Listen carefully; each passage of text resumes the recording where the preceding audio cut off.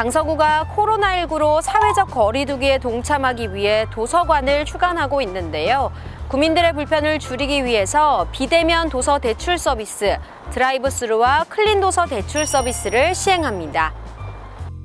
드라이브스루 클린 도서 대출 서비스는 빌려볼 책을 미리 신청한 후 지정된 장소에서 승차 상태로 받거나 지정된 도서관 현관 앞에서 직접 받아볼 수 있는 사업입니다.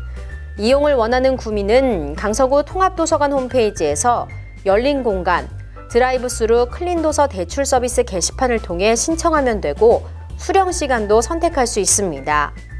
오후 5시 이전에 신청하면 다음날 수령 가능하며 주말 신청 도서는 화요일에 수령할 수 있습니다. 단 도서관 휴관일인 월요일에 신청한 도서는 수요일에 받아볼 수 있습니다. 강서구는 신청 도서를 확인한 후 대출 확정 문자를 신청인에게 발송하며 신청인은 문자를 받은 후 회원카드를 가지고 지정 시간에 맞춰 수령하면 됩니다.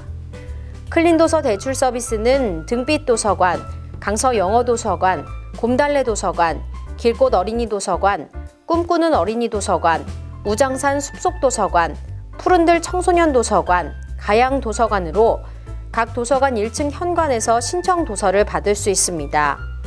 드라이브 스루를 이용하는 도서관은 곰달래 도서관, 길꽃 어린이 도서관, 강서 영어 도서관 세 곳으로 주차장에서 신청 도서를 받아볼 수 있습니다.